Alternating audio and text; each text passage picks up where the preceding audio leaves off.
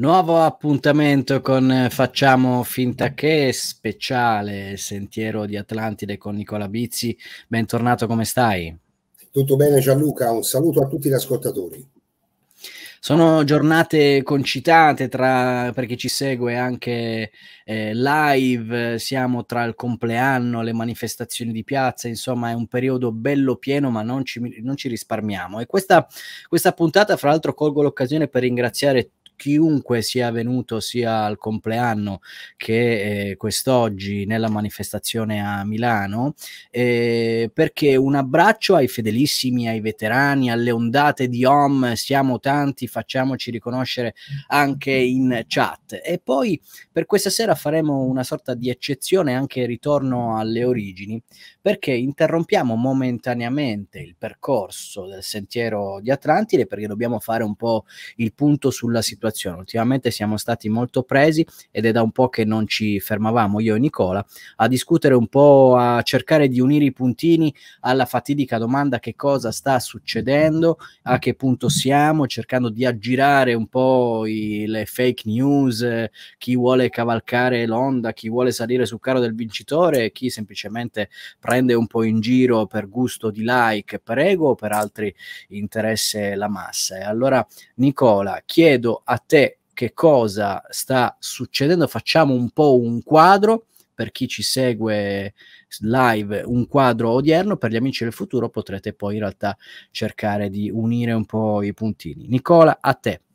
Sì, era tanto che non facevamo un po' un quadro della situazione. D'altronde eh, non esiste solo la storia passata, anche il presente che stiamo vivendo è emblematico, sarà storia. Noi stiamo vivendo la storia in un certo senso, la storia siamo proprio noi in questo momento, perché stiamo vivendo un momento epocale, un momento epocale di cambiamento. Questo lo abbiamo detto più volte e lo abbiamo anche spiegato in termini astronomici, in termini astrologici, in termini cosmici. E quindi stasera non ci ripeteremo a dare queste spiegazioni, vi invito a vedere il, eh, tutti i video precedenti e torneremo a parlare dei grandi misteri del passato dalla prossima settimana e oggi ci concentreremo invece sui misteri del presente, perché sta succedendo veramente di tutto.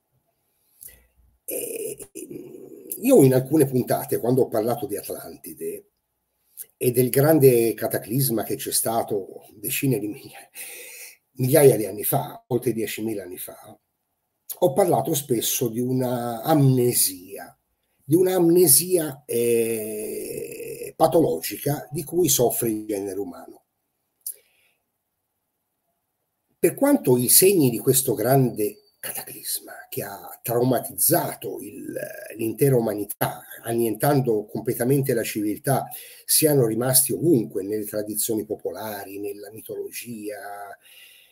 A livello psicologico, la maggior parte dei sopravvissuti a certi disastri del passato ha cercato di rimuovere il ricordo, di rimuovere il ricordo doloroso, il ricordo traumatico. E questo è clamorosamente quello che la maggior parte degli italiani si ritrova ad aver fatto, alla luce di quello che è successo negli ultimi due anni. È sconvolgente. Adesso le persone si stanno esclusivamente preoccupando dei rincari energetici, delle bollette, e questo è anche giusto per carità, ma sono andati a votare con una in tutta can... serenità, come dire, ah, adesso siamo tornati alla normalità, torniamo a votare i nostri politici, torniamo alle nostre abitudini. E chi vanno a votare? Chi sono andati a votare? Sono andati a votare quella stessa classe politica che pochi mesi prima ha imposto agli italiani l'apartheid. Ma ce ne rendiamo conto? Io non, non, giustifico gli errori, gli sbagli di tanti regimi del passato che giustamente vanno storicamente analizzati e condannati quando vanno condannati, ma è riemersa con queste elezioni la sterile retorica fascismo, antifascismo, ah, le leggi di qua, le leggi di là, perché il fascismo ha discriminato parte dei cittadini italiani E il governo Draghi che cosa ha fatto? Sembra che non sia successo niente adesso. Adesso le persone stanno conducendo la loro vita come se niente fosse, se ne vanno al bar, se ne vanno al supermercato, se ne vanno all'ufficio postale, se ne vanno in banca, se ne vanno in palestra, se ne vanno a fare la partita di calcetto, prendono un aereo, prendono un treno, prendono un traghetto e non si ricordano che la maggior parte di loro, fino a pochi mesi fa, non poteva prendere un treno, non poteva prendere un traghetto, non poteva entrare in un cinema, non poteva andare in palestra, non poteva fare niente, neanche andare in un bar a chiedere un bicchiere d'acqua. Ma tutti questi italiani, tutti questi nostri concittadini che se ne vanno adesso serenamente la mattina al bar a prendere il caffè, che se ne vanno al supermercato, che, fanno, che conducono la loro vita, non si ricordano o quantomeno hanno rimosso il fatto che la maggior parte di loro, fino a pochi mesi fa, non poteva fare niente di tutto ciò, non poteva andare al cinema, non poteva andare in palestra, non poteva salire su un treno, non poteva salire su un traghetto, non poteva prendere un aereo, non poteva condurre una normale vita sociale. In confronto, non poteva andare a lavorare non poteva andare a lavorare. Ora ci sarei arrivato dopo, perché il tema del lavoro è un altro tema scottante che intendo affrontare oggi. Il governo Draghi, che certi personaggi del, della, che si atteggiano a controinformatori o comunque alfieri di una certa controinformazione continuano a difendere io sento cose raccapriccianti del, del tenore, eh, Draghi in realtà è il salvatore, Draghi in realtà fa, ha fatto il gioco di sponda, ha fatto il doppio gioco, Draghi in realtà ha combattuto il grande reset, Draghi di qua, Draghi di là, Draghi ci porterà alla, alla liberazione, ma questo è delirio allo stato puro. Ammesso e non concesso che un personaggio come Draghi, che è un criminale incallito, un vile affarista come lo definì Cossiga, un personaggio la cui vita è costellata di crimini finanziari. E non lo dico io, eh, lo potete trovare ovunque andando a scavare sulla vita di Draghi. Dal Britannia fino alla, alla distruzione dell'economia italiana seguita a Tangentopoli. Un personaggio come Draghi, ammesso e non concesso, che, come dicono certi personaggi del, di YouTube, eh, abbia fatto il doppio gioco e in realtà si sia segretamente schierato con la cosiddetta alleanza.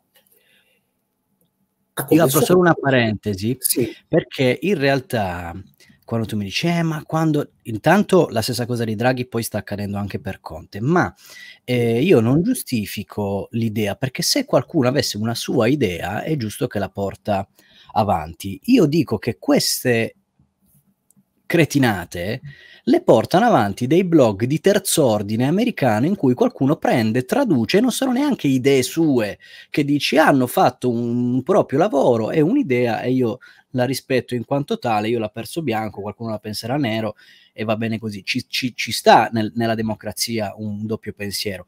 A me spiace quando in realtà queste come tante altre nel corso di questi due anni, arrivano da blog di terz'ordine che qualcuno ha tutto l'interesse a, a tradurre e poi chi per ego, chi per visual e chi magari anche dei, degli interessi, ma non sono di sicuro, quindi quando dici eh, ma tu attacchi, io attacco la fonte, poi chiunque la, la riporti mi spiace se si sente in qualche modo coinvolto, ma eh, io non ce l'ho con i pesci piccoli, io ce l'ho con chi in realtà fa partire un determinato pensiero dai, dai piani alti. Ecco, questa era una giusta precisazione. È vero, guarda, ci sono dei blog, soprattutto negli Stati Uniti, o dei siti.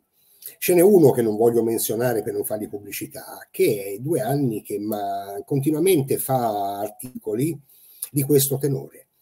Eh, giustiziato George Bush, eh, impiccata la Hillary Clinton, eh, sono finiti tutti a Guantanamo, in realtà sono dei sosia perché il, è tutto una, un grande teatro e stanno sostituendo quelli che condannano con i sosia. Perché non li fanno un processo pubblico?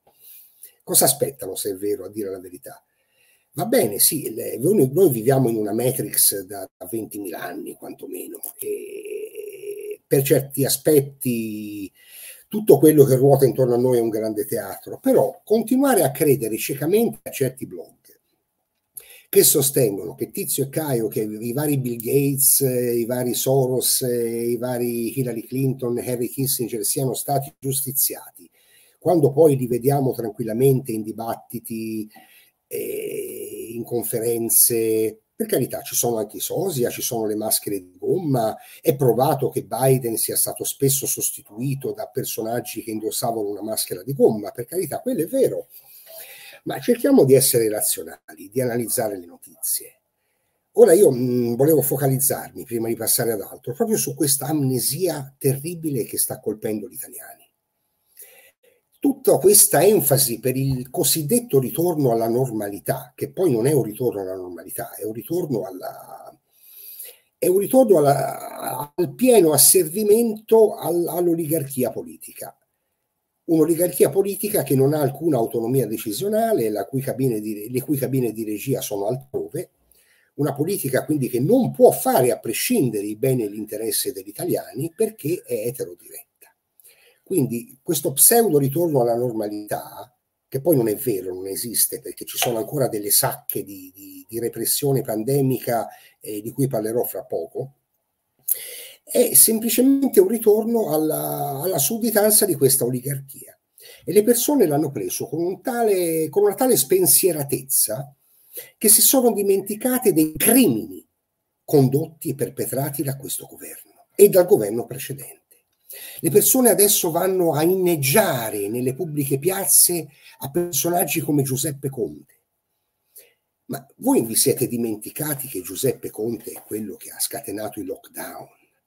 È quello che ha messo su il comitato tecnico scientifico, è quello dei bollettini quotidiani che hanno scatenato il panico e permesso questa, questa grande psyop, è quello che ha messo speranza alla sanità, è quello che pretendeva che firmaste le autocertificazioni, quello che vi impediva di uscire di casa a oltre 200 metri dalla vostra abitazione, io dico, vi impediva perché io uscivo lo stesso, io me ne fregavo, non mi hanno mai fatto una multa.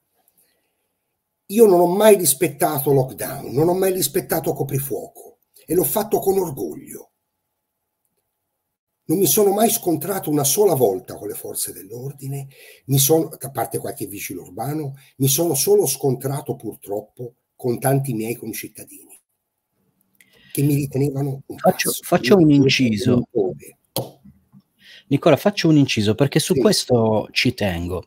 Eh, la, la, la, nostra linea, abbiamo da poco festeggiato i due anni, ecco, se vi va eh, di andare a confrontare quanto noi abbiamo detto da, dalla prima ora, ma era, era eh, non più tardi di un anno fa, che eh, questo era esattamente quello che, quello che noi diciamo oggi, lo dicevamo due anni fa e un anno fa con gli stessi blog americani che davano false informazioni con Giuseppe Conte che non faceva le conferenze stampa, che appariva 3-4 ore dopo, magari eh, di notte. Alle volte il culmine l'ha toccato quando andava su Facebook con le bimbe di Conte che gli mettevano i cuoricini e lui aggirava i giornalisti finché qualcuno ha detto comunque state esagerando. Quindi hanno fatto, sono passati a fare delle finte conferenze stampa e me ne prendo anche la responsabilità, in cui c'erano pochi giornalisti scelti che in combutta con Casalino sceglievano delle domande facili, ma questo modus operandi, vi posso garantire che si fa in tutti i piani. Io lavoro nelle tv locali e non era eh, affatto raro, per non dire che accadeva sempre, che quando passasse eh, magari il sindaco della città di Torino si scegliesse le domande e quelle a cui non sapeva o non voleva rispondere il suo ufficio stampa gliele scartava per arrivare poi con le risposte studiate a memoria e il giornalista si guardava bene dall'interrompere perché se no perdeva il filo. Quindi in realtà queste cose io ci vedo comunque, e spero che ci riconosciate, una coerenza orizzontale, perché poi sentiamo, eh va bene, ma Conte basta che chiede scusa e viene con noi. No, è un po' come la Ronzulli che dice, no vabbè, Novax, eh, eh, abbiamo esagerato da entrambe le parti, facciamo pari e patta. Sì. No, cioè, Io mi sono segnato tutte le dichiarazioni della Ronzulli fatte, negli ulti- fatte a, quando è iniziata la campagna di Certisieri, quando è iniziato il, il Nazi Pass. La Ronzulli ha fatto delle affermazioni raccapriccianti a livello di, di Joseph Goebbels. Potremmo veramente paragonarle a dichiarazioni di Goebbels. E la Licia Ronzulli adesso pensa di, di passarla liscia, no? di uscirne pura, candida cioè io non sono stato due anni in trincea. Ogni volta che uscivo di casa, rifiutandomi di indossare una museruola, mi sentivo in trincea perché mi toccava litigare con la gente per strada. Cioè, spesso evitavo proprio, ma a volte mi ci prendevo perché volevo vedere dove arrivava l'idiozia e il lavaggio del cervello di certe persone. Persone che adesso invece mi danno ragione. E questa è una delle cose più gratificanti che veramente possano esserci. Ci sono persone che, che io non conosco, vicini di casa con cui io prima non avevo mai scambiato una, una parola, se non, neanche un buongiorno, e che si sono permessi di offendermi e di attaccarmi per strada perché non portavo una museruola. Persone che adesso sono venute negli scorsi mesi a scusarsi con me dicendo guardi io le devo parlare io mi scuso se una volta sei mesi fa mi sono permessa di dirle questo questo e quello cioè, lodi a queste persone perché vuol dire che hanno cominciato a ragionare, anche se io non giustifico le, le offese che mi hanno rivolto e gli attacchi che mi hanno rivolto, ma quello che mi sorprende, che mi lascia veramente non sconvolto perché non mi sconvolge più niente, è l'amnesia della stragrande maggioranza del popolo italiano. Tutte queste persone, non solo quelle che sono andate a votare, ma quelle che adesso conducono normalmente la loro vita, si dimenticano di cosa l'Italia ha subito negli ultimi due anni e mezzo. La restrizione di tutte le libertà democratiche, la, restri- tu- la restrizione di tutte le garanzie costituzionali, la libertà di pensiero, la libertà di espressione, la libertà di associazione, la libertà di movimento sul territorio nazionale. Le persone si sono fatte mettere al confino, si sono fatte mettere agli arresti domiciliari in silenzio e hanno giustificato tutto questo.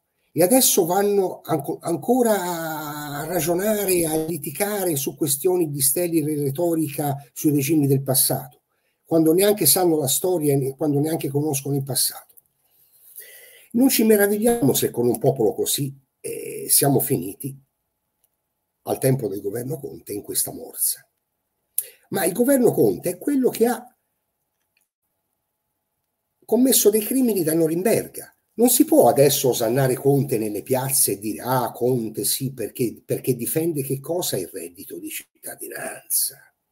Ma lo sapete che cos'è il reddito di cittadinanza? A parte il suo stesso nome è agghiacciante.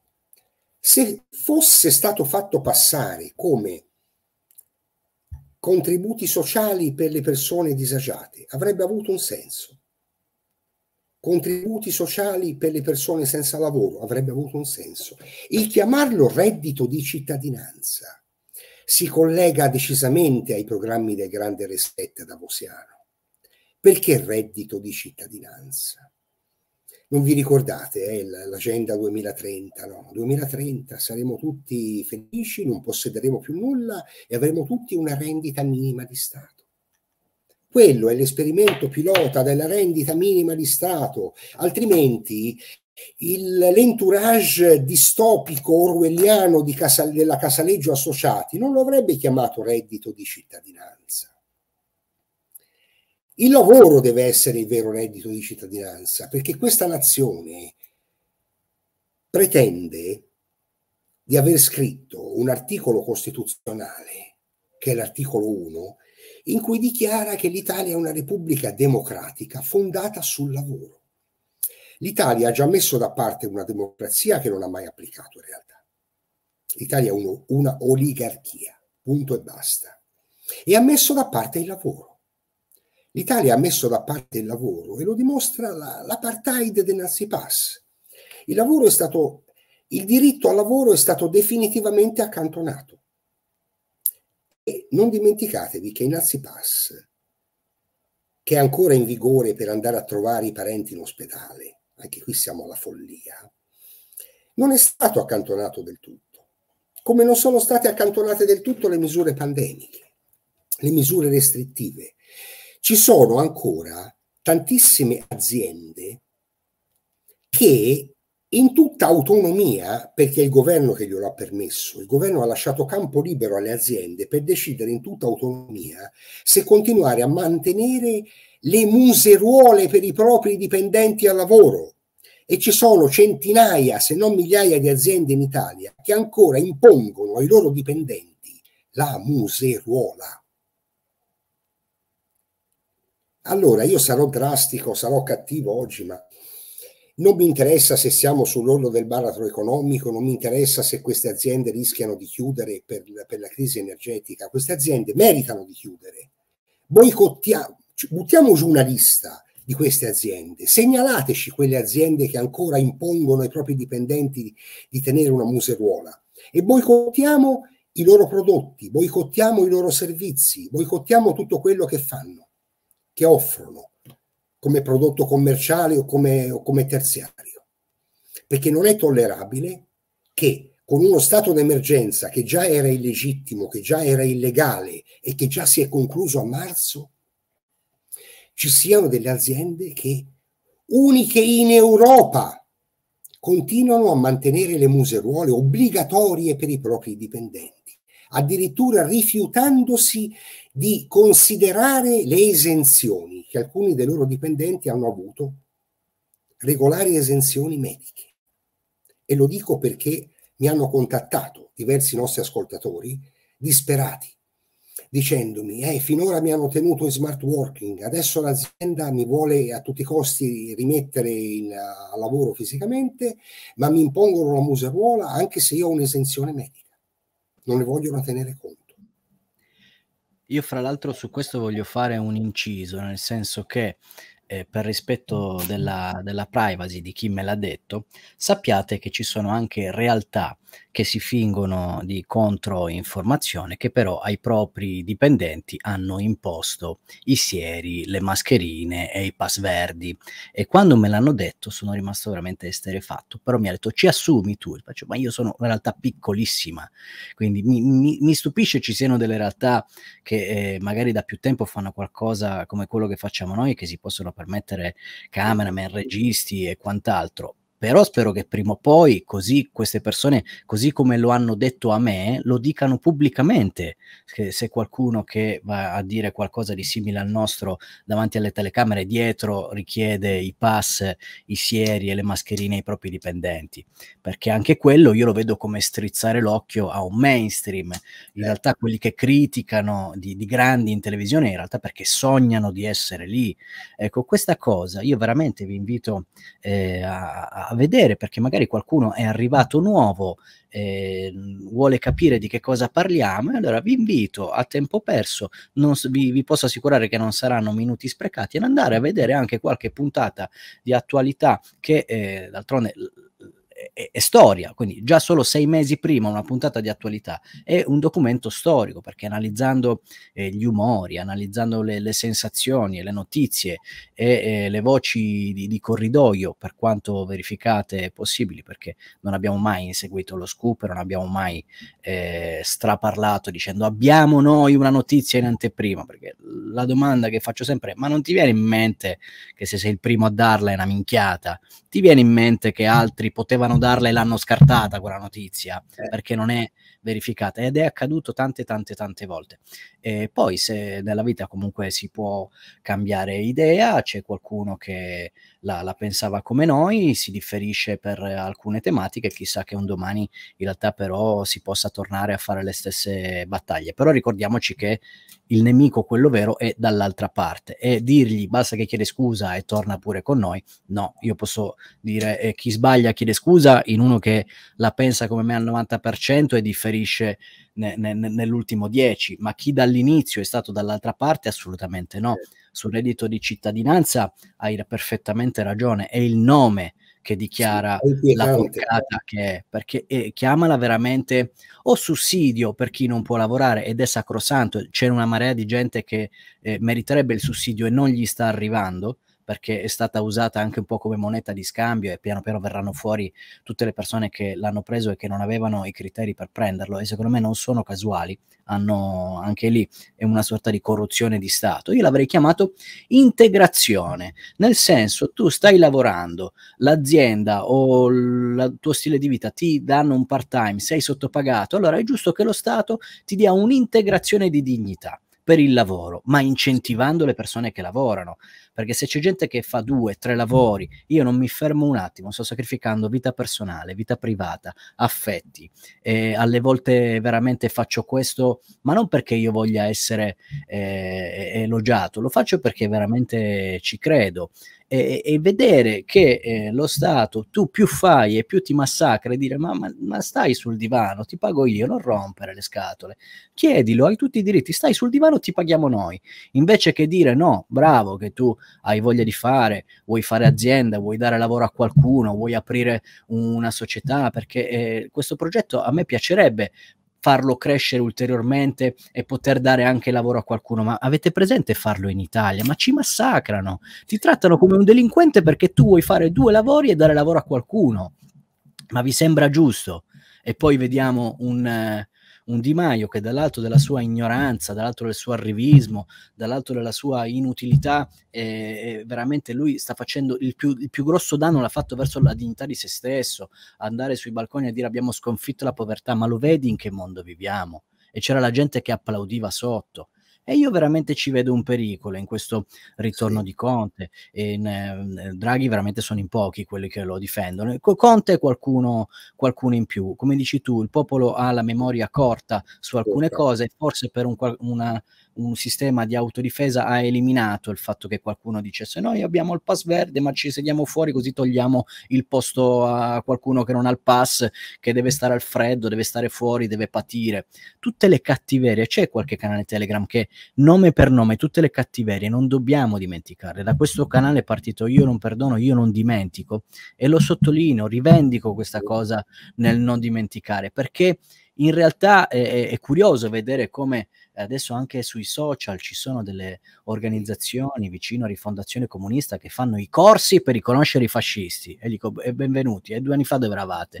Cioè, ma stiamo veramente al ridicolo. Liliana Segre che fa il discorso al Senato dicendo, eh però la Costituzione, eh però i diritti. Ma tu parli, ma dove eri dove eri negli ultimi due anni? Però questa cosa non deve passare e fra l'altro non deve passare da tutte le parti, non solo al partito che c'era già antipatico prima, non deve passare anche al partito che magari qualcuno ha simpatizzato, perché vedere intere coalizioni dove qualcuno strizza l'occhio, qualcuno dice eh vabbè, qualcuno ha cancellato i tweet, quindi quelle rappresentazioni lì non sono veritiere io l'ho, discusso spesso, eh, non voglio tediare con meccanismi politici. Andate sul canale Gianluca Lamberti, lì faccio proprio le analisi di che cosa è stato il voto utile, perché Meloni non ha realmente il 26 e perché dal giorno dopo si sono aperte le larghe intese e la chiamata ai tecnici.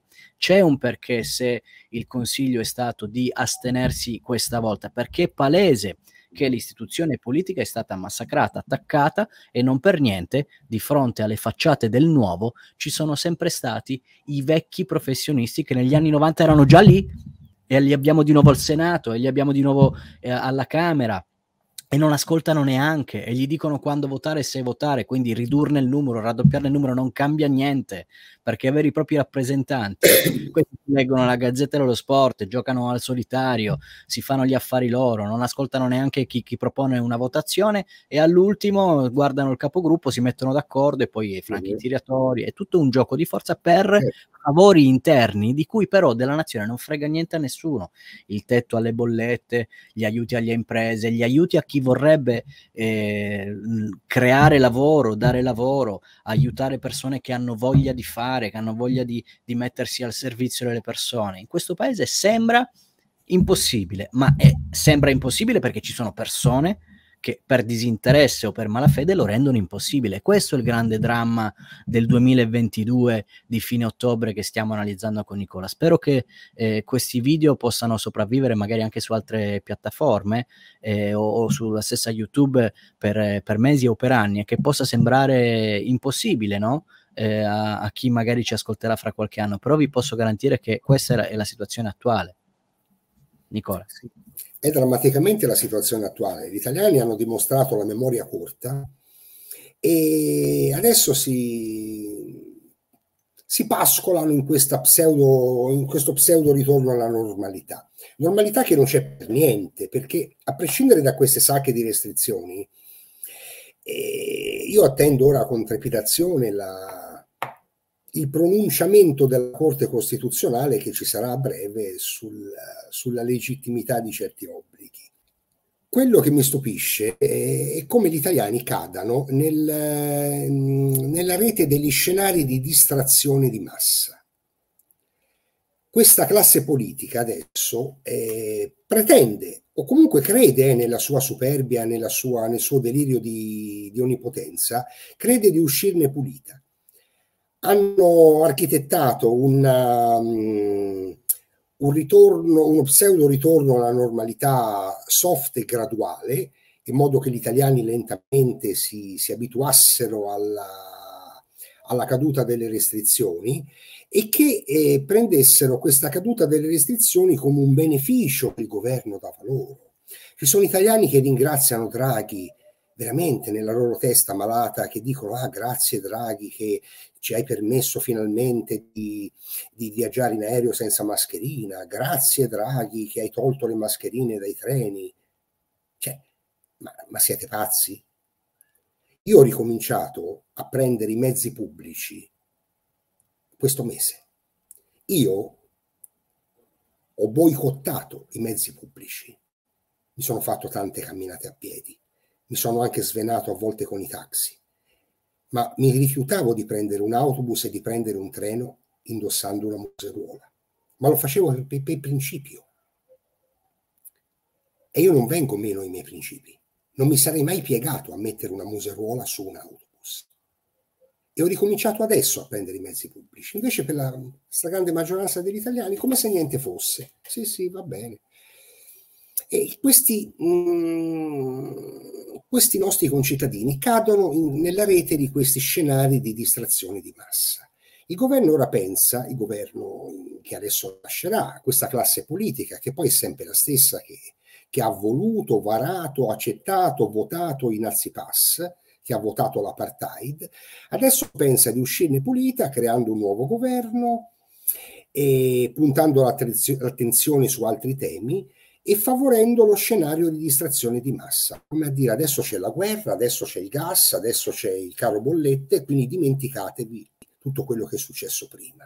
E gli italiani ci cascano, si fanno irretire da questo scenario di distrazione di massa, senza considerare che questo governo, alimentando, io parlo di questo governo, ma anche se adesso c'è un, un cambio fra tra il governo Draghi che se n'è andato e il governo che deve entrare in carica. Diciamo questa classe politica. Questa classe politica eh, sta facendo il danno del popolo italiano soffiando sul fuoco. Va bene che l'Italia è nel patto atlantico, l'Italia è nella Nato. E va bene che l'Italia non ha autonomia decisionale su tanti temi e non li ha più dal 1945, parliamoci chiaro li ha ancora meno da quando l'Italia ha visto la distruzione della classe politica della Prima Repubblica, che magari si rubava, ma che alla fine faceva gli interessi del popolo italiano, faceva gli interessi della nazione, pur finanziando quelle enormi e dispendiose macchine che erano i partiti di allora. Ma il soffiare benzina sul fuoco, il creare questo odio antirusso, che ha veramente dell'incredibile, il, eh, il, fatto di eh, inneggiare a un dittatore, perché Zelensky è un dittatore, parliamoci chiaro, è un, è un burattino, un burattino creato dalle elite internazionali, messo lì, l'uomo giusto al momento giusto, per, eh, eseguire certi compiti. L'Ucraina è una dittatura. In Ucraina non c'è libertà di espressione. In Ucraina i giornalisti che si permettono di dissentire sulle follie di questo regime, che è un regime che strizza l'occhio al nazismo fin da sempre, eh, già dai tempi di Poroshenko. Eh, L'Ucraina da quando si è resa indipendente è cavalcata ed è governata a fasi alterne, ma nella maggior parte dei suoi 30 anni di indipendenza, l'Ucraina è stata governata da fazioni politiche che hanno sempre cavalcato il banderismo. Bandera era un criminale, era un, un vassallo delle politiche naziste sotto l'occupazione e adesso viene fatto passare come un eroe nazionale. E è una classe politica che ha sempre strizzato l'occhio a, a un nazionalismo ucraino esasperato in funzione antirussa e al nazismo, eh, permettendo l'organizzazione di interi reparti militari con, eh, con ben in evidenza patch nazisti. eh, ma questi sono i beniamini della democrazia agli occhi della nostra classe politica. Questa mistificazione sta solo esacerbando la speculazione sul gas la speculazione sul caro bollette, una speculazione nei confronti della quale questa classe politica non sta facendo niente. A differenza della Germania che si è resa conto del problema, la Germania, pur essendo nel patto atlantico, pur eh, dovendo per facciata strizzare l'occhio alle politiche folli di Biden, a, questa, a questo delirio antirusso, la Germania ha messo sul piatto 200 miliardi di euro non farà pagare le bollette a, a dicembre, coprirà buona parte delle bollette dei cittadini e sosterrà la propria industria. La propria industria che questa classe politica invece ha condannato alla chiusura. Tutti coloro che parlano dell'agenda Draghi, ah, noi sosteniamo l'agenda Draghi, sostengono la chiusura non solo delle piccole e medie imprese, ma anche la chiusura definitiva delle nostre industrie. Ed è inutile che ora la Confindustria strizzi l'occhio al governo Meloni, in pectore nascente che ancora non c'è, e che dica sì, fate questo, fate quello, farete questo, ci prometterete quest'altro. È ora di dire basta a questo delirio pro-ucraino. E guardate bene, io non ce l'ho con i cittadini ucraini.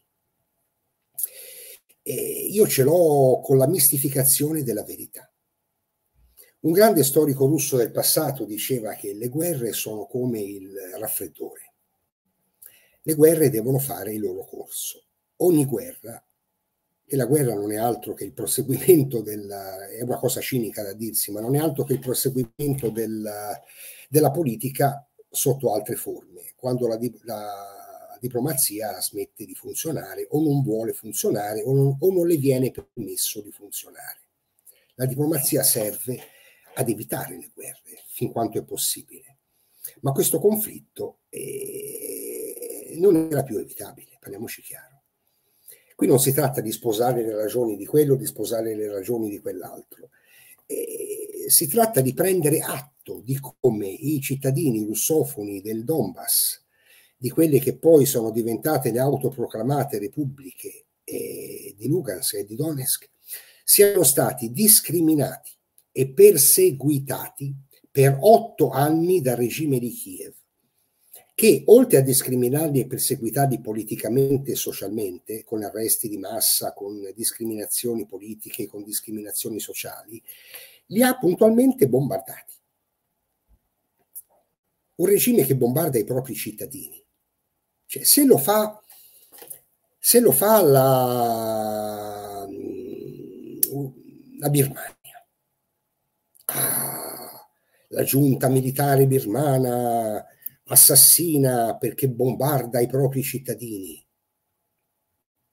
Ci sono movimenti politici in Italia che si ritengono anche alternativi, che hanno eh, alcuni dei loro rappresentanti sono andati in Birmania clandestinamente anni fa, attraversando il confine thailandese, non voglio fare nomi, tanto li sapete quali sono e per difendere il, il, popolo Karen terribilmente perseguitato dalla giunta militare birmana E peccato che abbiano omesso di dire che i Karen, finanziati da alcune lobby islamiche, organizzavano attentati negli uffici postali, nelle, nelle stazioni ferroviarie, nel, negli uffici di polizia e, e, che c'è stata quindi un, un intervento eh, de, di un regime che è comunque deprecabile e condannabile volto a contrastare certe azioni terroristiche.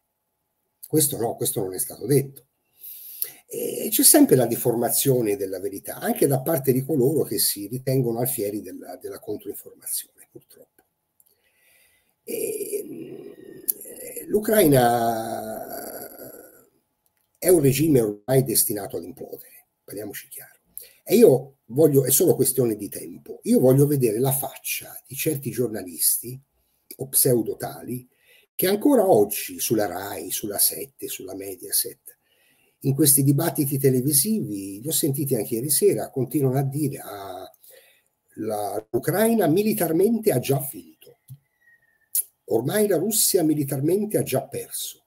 Questi non si rendono conto di quello che dicono, o vivono fuori dalla realtà, o chiaramente sono pagati per dire castronerie. Ma io voglio vedere la loro faccia fra due o tre mesi, quando il regime di Kiev sarà collassato, perché alcuni stati europei si ribelleranno al, alla crisi sociale innescata dal caro bollette e cominceranno a interrompere il, i finanziamenti verso questo regime, a interrompere l'invio di armi, che fra l'altro sono state armi in buona parte scadenti, non dimentichiamocelo, nei primi mesi di conflitto, nei primi mesi di operazione militare speciale russa, sono stati inviati sullo scenario ucraino fondi di magazzino destinati allo smaltimento. Dall'Italia, dal Belgio. Io ho visto video russi dove eh, alcune postazioni militari evidenziavano e filmavano proiettili da cannone italiani degli anni 60 o i più moderni erano del 71 perché i proiettili da cannone hanno la data impressa sopra. E il Belgio ha dato all'Ucraina del, delle scatole di sardine, passandole per mezzi blindati, che erano destinate già dal 98 alla rottamazione e che se ne stavano parcheggiate nei depositi militari belgi dal 98 vede proprio scatolette di sardine che al primo colpo di artiglieria si sfondano e si accartocciano. E, ma perché? Perché questo è materiale speciale, il cui smaltimento costa. Smaltire il surplus militare, soprattutto se si tratta di armamenti e mezzi blindati, mezzi corazzati, non parliamo poi degli esplosivi, costa una barca di soldi perché lo smaltimento di certe attrezzature e di certi mezzi necessita di un'operazione particolare, di una filiera particolare che è molto costosa. Invece il mandarlo là libera, ha liberato tante nazioni dallo smaltimento, dai costi dello smaltimento e questo materiale è stato poi puntualmente smaltito dalle artiglierie russe. Poi ci sono stati gli Stati Uniti che hanno iniziato a mandare truppe, a mandare truppe sotto mentite spoglie. Ci sono truppe americane, ci sono truppe francesi, ci sono truppe britanniche, ci sono truppe polacche. La scorsa settimana, eh, nella zona di Zaporizhia, nei pressi della, della centrale nucleare, attualmente sotto il controllo russo, è stata sventata un'operazione militare che avrebbe rischiato veramente di scatenare un incidente nucleare circa 20.000 uomini, dei quali nessuno ucraino, o forse 10, forze NATO in uniforme ucraina, stavano per lanciare una pesante controffensiva con armamenti NATO di ultima generazione per eh, riconquistare quella centrale. La, chiaramente i russi hanno delle ottime informazioni e hanno colpito in maniera selettiva alcuni palazzi dove alloggiavano quelle truppe. Se la sono cercata, io non è che giustifico la, la morte di migliaia di soldati, ma in questo caso se la sono cercata perché a causa delle elevate perdite subite eh, il comando militare NATO ha dovuto cancellare quella controffensiva.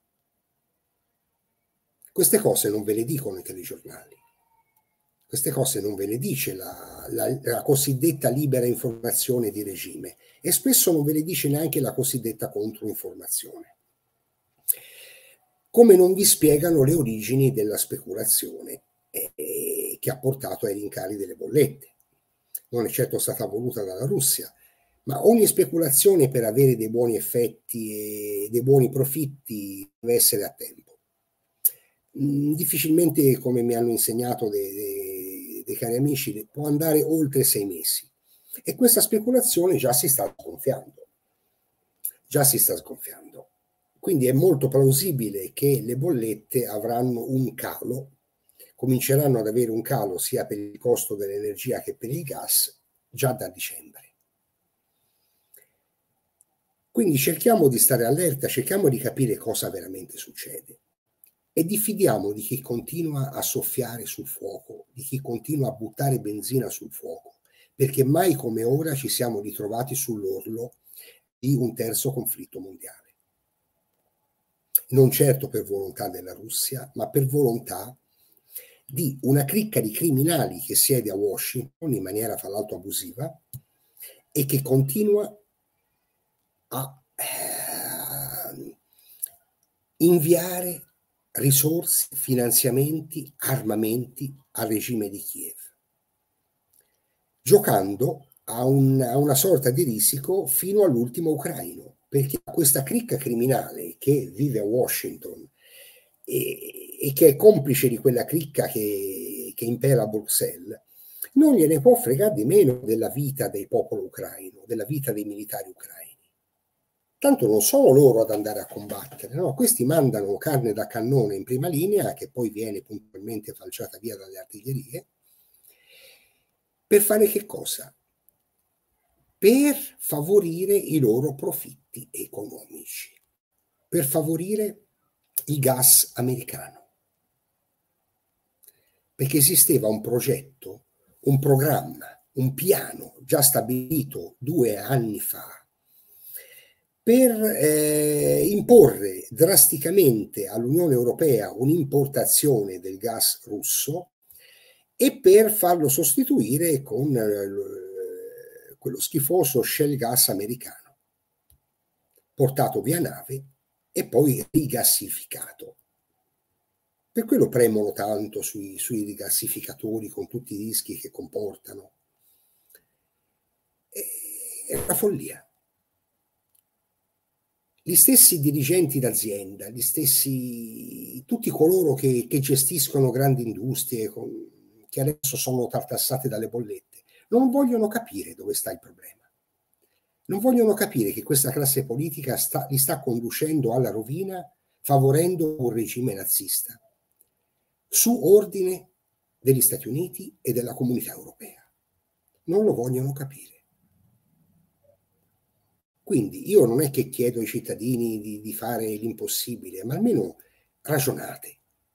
Ragionate con la vostra testa e agite di conseguenza, prendete le vostre decisioni, scegliete in tutta autonomia, in tutta libertà da che parte stare. Io l'ho scelto. Anche perché Nicola, penso che eh, tu come tutti quanti noi sarai stato invaso negli ultimi giorni da hai visto in quella trasmissione televisiva, ora hai visto, ora lo dicono, quello che dici tu da due anni, adesso l'hanno detto in quella rete televisiva, in quella trasmissione. Ci sono delle trasmissioni televisive che stanno fortemente strizzando l'occhio. Ora magari qualche conduttore era realmente da questa parte, ha aspettato un po' tanto a dirlo, però finalmente lo, lo ha fatto. Eh, meglio tardi che mai, ma c'è un grave ritardo. Io però, così come eh, mi sento di dare questo consiglio, di consiglio trattasi, eh, quindi è la mia idea, eh, non prendetela come assoluto, è il mio consiglio.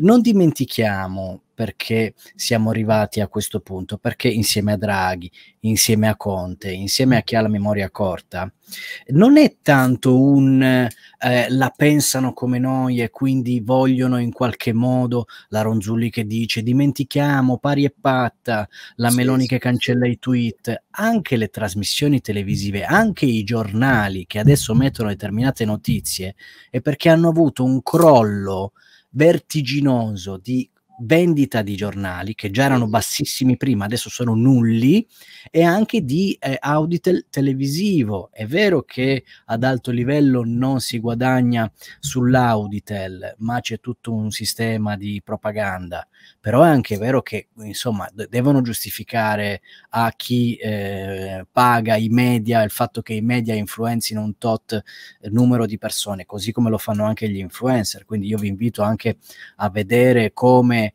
eh, ci siano eh, tutte le, le testate giornalistiche o molte testate giornalistiche e molti giornalisti completamente sotto il controllo di qualcuno che si affrettano con questo leccaculismo e questo prostrarsi eh, a, a, Draghi, alla Nato, agli Stati Uniti, a Biden, eh, a, in qualche modo alla, narra, alla narrativa e, e ucraina e, al, e a Zelensky che viene in qualche modo, tutti devono fare la premessa che vi ricordate con ma io non sono contro il siero ma adesso tutti dicono no ma ricordiamoci che sono stati invasi ma e devono fare questo io non sono con Putin ma perché altrimenti non li farebbero andare in televisione. Ma queste persone hanno bisogno degli ascolti, quindi prendono Enrico Montesano alla trasmissione dove ballano in Rai perché devono in qualche modo riportare qualche simpatizzante di una certa fazione a, a vederlo. Eh, mettono delle trasmissioni in cui cominciano a fare delle finte inchieste perché poi qualcosa gli fanno dire, ma poi si fermano per prendere e, e togliere un po' dall'esclusività di eh, social come YouTube e come Telegram la, mm, una parte di, di questa ideologia. Ecco, quindi noi non dobbiamo anche fare l'errore che sia tutto finito e che quindi possiamo starcene sul divano perché ormai è, è fatta. No, quindi è una partita a scacchi, loro hanno i loro piani, fra l'altro chi chiama l'agenda Draghi, in realtà questa agenda Draghi non è manco sua, è un altro eh, vile affarista servitore di qualcun altro, quindi non sopravvalutiamo neanche le, le persone in sé, ma avevamo un calenda che, eh, calenda Renzi che volevano ancora tenere Draghi e volevano portare avanti la stessa agenda. Abbiamo fra l'altro eh, Letta che in qualunque eh, eh, elezione negli ultimi, de, de, degli ultimi anni sarebbe stato cacciato il giorno dopo aver avuto quel risultato, in realtà rimane lì perché non volevano vincere. E dicevano no no ma, no, ma, ma, ma, comunque sta facendo bene Draghi lasciamo lui. Cioè un appiattimento totale e io ricorderò sempre che eh, a, a, facendo zapping a casa di amici con la televisione, becco un, era Italia 1, un, un opinionista che dice eh, no vabbè, ma magari la scarsa affluenza alle, quando si trattò delle amministrative dove Torino non andò quasi nessuno a votare, dicono no vabbè, ma questa, questa scarsa partecipazione è un sintomo di grande democrazia perché la gente si fila di Draghi a tal punto che non va neanche più a votare per il sindaco di una città, tanto c'è lui quindi ragazzi, qua siamo veramente, qua ci contendiamo con la Corea del Nord il livello di, di libertà, ma la gente non se ne rende conto, vanno a cercare i fascisti sotto il tappeto, vanno a cercarli ne, negli scaffali della, del, della cucina, vanno a denunciare il vicino perché sono in cinque a tavola come Gasman e come tanti altri burattini, pagliacci di questo sistema e anche a loro non dobbiamo farla passare liscia. Come? Semplicemente boicottando. C'è un film, c'è Gasman, non vado mai più, tanto non era neanche un attore prima, figuratevi adesso. Quindi anche questa, con questo nepotismo del lavorare perché tuo padre è stato una persona importante, figuratevi io qua, quanto ci ho il dente avvelenato con i figli d'arte che vengono sparati ai piani alti solo perché portano il cognome di qualcuno, ma manco fossimo nel Medioevo, eh? quindi nel, nel Medioevo funzionava così, adesso ci dovrebbe essere la meritocrazia. Non è così c'è il cantante, ha, ha, straparlato il cantante, non si va al concerto, c'è la, la, la manifestazione dove c'è Tizio, non si va, c'è questa cosa. Quindi ricordiamoci che come persone, come numero di persone, siamo molti di più di quelli che ci hanno fatto credere per un tot. Sì, sì. Adesso non ci rimane che stringerci un pochettino, contarci e far valere il fatto che è un segnale importante se tot persone scendono in piazza, se tot persone non vanno più in quel supermercato perché ha fatto una pubblicità oscena con gente che al di fuori dell'emergenza ha la mascherina fin sopra i capelli e manco gli occhi si vedono, non ci andiamo più, quel prodotto ha un testimonial, non lo prendiamo più, dove si vanno a colpire gli influencer? Tutto ciò che vanno in qualche modo sponsorizzando non si prende più, non si tocca più, quindi c'è un potere nelle mani di ognuno di noi, che singolarmente si tende a, a sottovalutare, ma come numero, a livello di grandi numeri, è un, è un grandissimo potere. Abbiamo un enorme potere, il potere di spendere come riteniamo opportuno i pochi soldi che abbiamo, il potere di decidere a chi darli. E state tranquilli che io non li darò mai a qualcuno che ha sostenuto questa dittatura, a qualcuno che ha sostenuto questa deriva eh, orwelliana. Ieri, fuori da un supermercato a Firenze, c'era un banchetto di Amnesty International. Ci vengono spesso, eh. tra l'altro fino a un mese fa stavano lì con la mascherina. Io li ho sempre ignorati puntualmente. Ieri li ho visti senza mascherina, mi si sono avvicinati mentre entravo, allora ci ho fatto due chiacchiere e gli ho detto sì, Amnesty International, ma io non ce l'ho con voi, eh. voi, voi senz'altro ragazzi siete animati da buone intenzioni, siete qui perché, perché magari credete in quello che, in certi ideali. Ma dov'era Amnesty International quando in buona parte del mondo si è instaurata questa dittatura sanitaria? Dov'era Amnesty International quando in Italia, in Austria, in Francia e in altri paesi è stato introdotto il Nazi Pass. Ha preso posizione ufficialmente Amnesty International? Non mi risulta. Poi se lo ha fatto fatemelo sapere. Questi sono rimasti basiti, sono rimasti a bocca aperta e non hanno neanche replicato. Ma fatele notare queste cose. Non perdete occasione di confronto, di confrontarvi, quando chiaramente c'è un confronto civile e pacifico. Fatele notare alle persone. Chiedeteli sempre, sì, eh, lei mi propone questo, ma lei dov'era quando hanno introdotto il Nazi Pass? Lei come si è comportato? Come si è rapportato al Nazi Pass? Quando vi propongono vuole fare l'assicurazione con la nostra compagnia? Sì, potrebbe anche interessarmi, ma il dirigente della vostra compagnia ha imposto in Assipass a, tutti voi dipendenti, vero? Allora perché dovrei fare un'assicurazione con la vostra compagnia? Fateglielo pesare.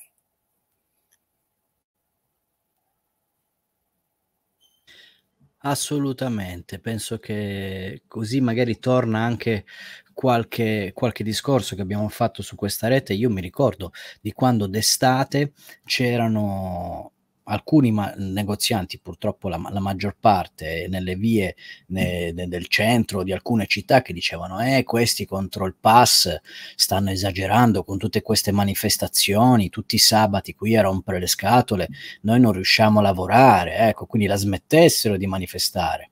E poi sono gli stessi che dicono scendete in piazza per le bollette perché io non ce la faccio.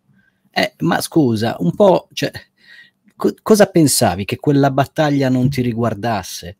Che non fosse un, un, percorso già scritto e che anche il pass non fosse contro la tua attività, che non ci fosse un disegno globale? Perché a questo punto, diciamo, cioè, è palese un disegno globale e che quindi stanno andando avanti per quelli che sono i loro piani, che possono essere accelerati, possono aver paura, possono aver perso qualche battaglia, sono mal ridotti sicuramente, ma non hanno ancora perso del tutto. Quindi anche a chi vi dice tranquilli sul divano e lasciate fare che è già tutto fatto, fa un danno. Certo che fa un danno. Per non parlare poi di tutte quelle catene commerciali che hanno lasciato intenzionalmente e deliberatamente certi cartelli nel negozio.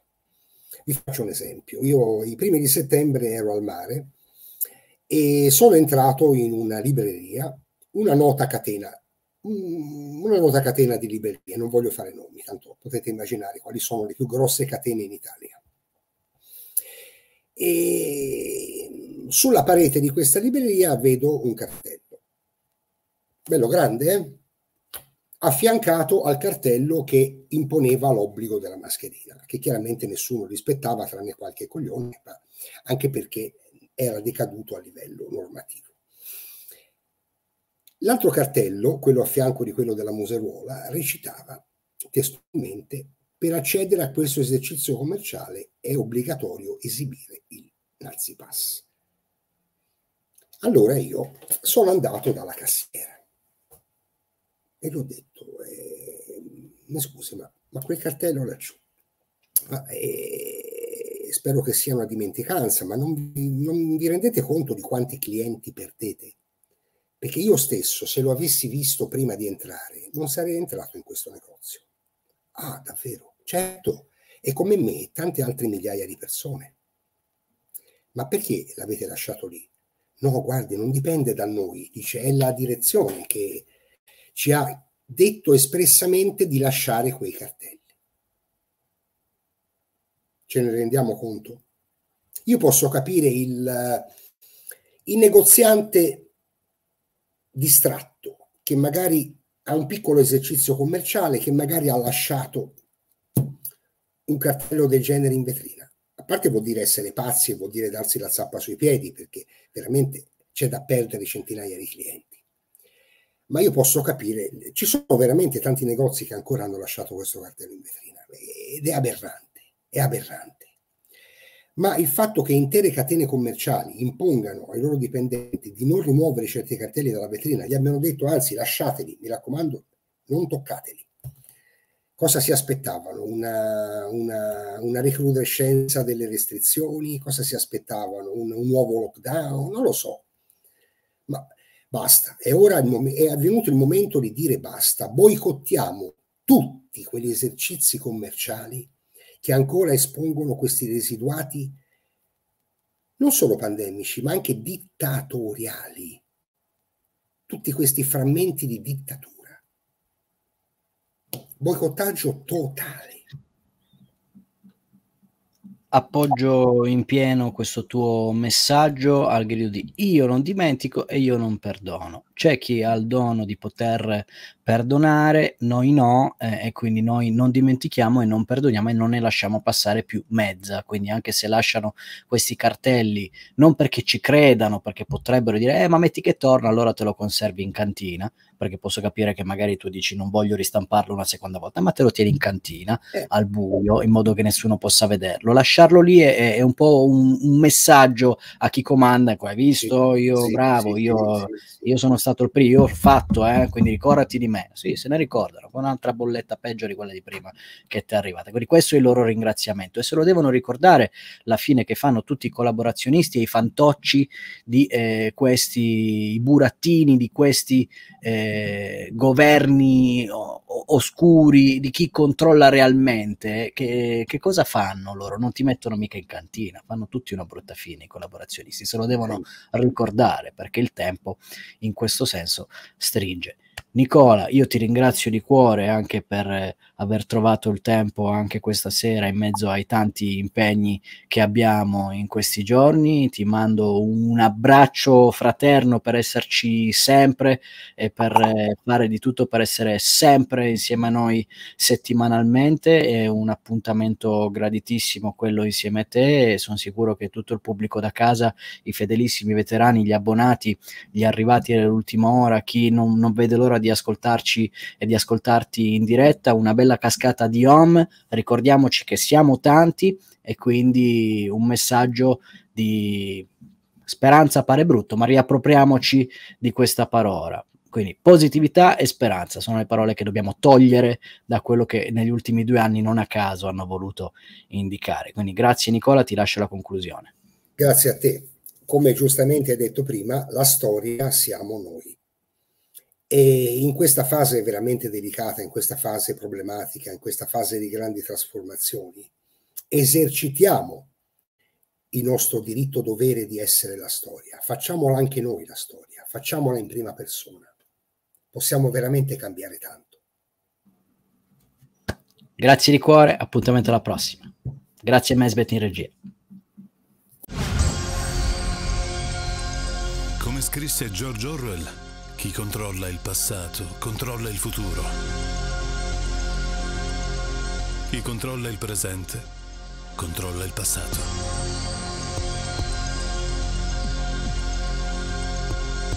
Facciamo finta che è il canale YouTube ideato e diretto da Gianluca Lamberti. Sono quattro i nuovi video ogni settimana. Il lunedì, il mercoledì, il venerdì e la domenica. Alle 21.30. In diretta. Sostienici abbonandoti o facendo una donazione per far crescere il progetto e sostenere la libera informazione.